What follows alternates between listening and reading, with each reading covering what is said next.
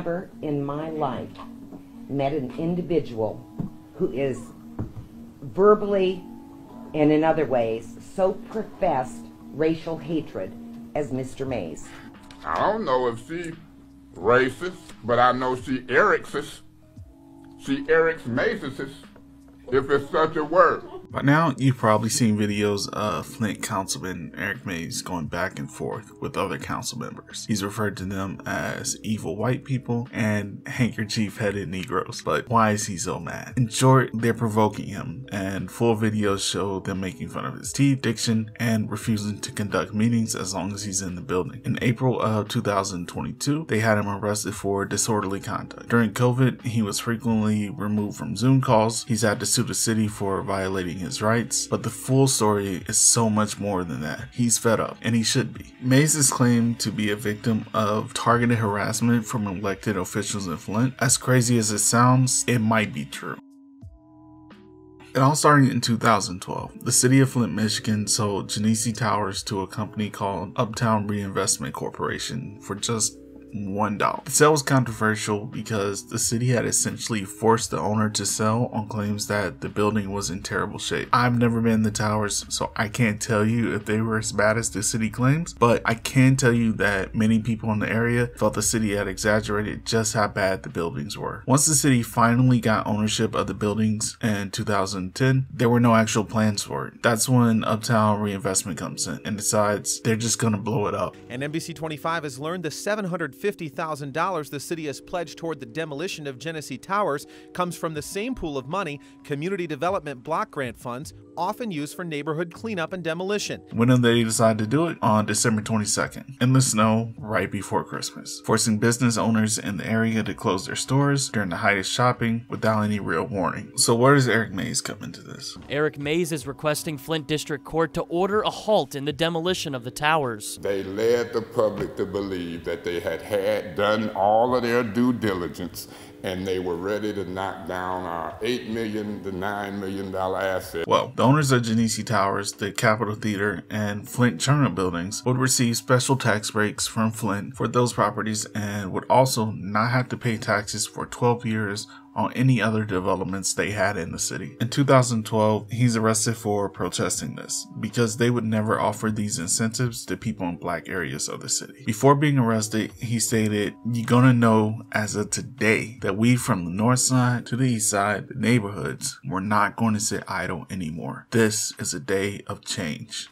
That prompted his run for councilman, and he won. He also sued the city for the sale. He was basically mocked by Judge Geoffrey Neithercut, who stated, you need to go work on the budget, Mr. Mays. I don't see anything that the court would need to decide. That building was torn down. It's a pile of rubble that's being hauled away. Mayor Sheldon Neely, who was a councilman at the time, poured more fuel on the fire, calling it, quote, a waste of time and money. Since then, it's been more targeted harassment of Councilman Mays. He's repeatedly implicated Neely as the ringleader of the harassment, but what exactly is the harassment he speaks of? And so now I'll hope that the city attorney, the special prosecutor, you know, I've been penalized, I've paid fees, I've been on tether for months. I've served more than a penalty. In 2014, he was arrested. They said Mays was drunk, high, driving with four flat tires the wrong way on the highway after a hit and run. Then they added in resisting arrest, refusal to be fingerprinted, disorderly conduct. Mays chooses to defend himself. He's not a lawyer. The evidence just didn't make sense. Nobody actually saw him in the car. Nobody witnessed the car driving up the highway. He was drunk and he had a bag of weed, but they said he was in a hit and run and had no evidence of a and run even happening. The judge is annoyed with Mays, but throws out several charges. The jury acquits or doesn't reach a verdict on the others. A different judge comes in and reverses the ruling because he felt the first judge shouldn't have allowed Mays to represent himself. So Mays ends up with 72 days in jail, despite the fact that he officially wasn't found guilty of anything. In 2017, just before the election, Mays was arrested again, this time for willful neglect, because he had pawned his work laptop three times in 2015. In reality, he admitted on camera that he pawned it nine times because he needed money to pay his bills. He pled no contest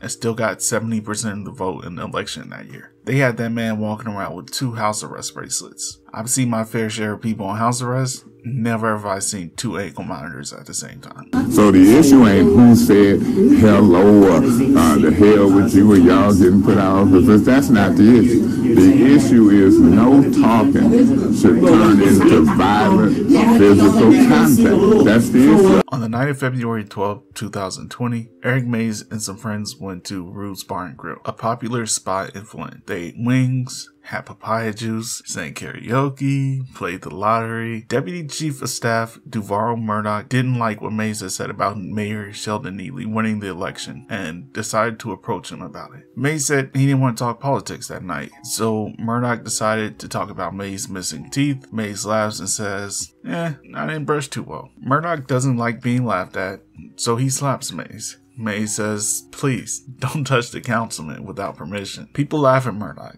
and that just makes him angrier. Murdoch slams Mays on the ground and beats a retired old man. Police come, and Mays goes to the hospital, where it's revealed he has several bruised bones in his face. Murdoch just kept drinking that night. No charges were ever filed, but Murdoch would later resign from his job after being caught drunk driving. So, why is Eric Mays angry? Because he's been fighting for his people and got no real changes. Elected officials are on the news saying he's a scam artist, drug addict. Early in 2023, Council President Allie Herkenroder made a joke and laughed, then accused him of gaslighting when he asked her to repeat herself. To which she responded with, Go find a dictionary. But she's gaslighting him at that moment, as if nobody else saw and heard her laugh, when there is a microphone in front of her and a camera on her. What did you That's- just say? What did you say? You're not going to allow me to do what? I mean, you laughing. I'm trying to hear what you're saying. Okay, I think that you can hear me just fine, but for the record, I said I will not allow you to gaslight this community. Gaslight? Or, yes, sir. I suggest you look it up.